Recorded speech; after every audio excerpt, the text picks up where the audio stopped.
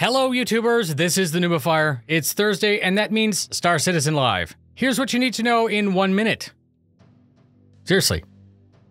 The Pyro system was a major advancement that was demoed at CitizenCon, but the team is now fully focused on Microtech's Three Moons, and this would technically complete Stanton. The heat is on as they're trying to add them all to the next patch.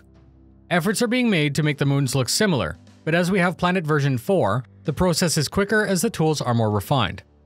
If the developers can pull this off, I hope you'll agree with me that this will be a fantastic way to complete the system. The Cutlass Red was next on the plate. The updated red is great to see an engine with clearer cues from the updated Cutlass Black. It makes sense that they removed the side doors, because that's where the operating theater is. Those were replaced with docking ports. The blinky lights were a critical feature that the team wanted to get right. The Cutlass Red adds two new game features, one of them being the bed has a heal feature with a scanning animation, and with the most implications, the bed can be set as a spawn point providing that it's within range of the player. This could be a major tactical game changer, as it's on a player controlled ship. And that's it. This is a community supported channel that operates ad free, fly safe, and I'll see you in the verse.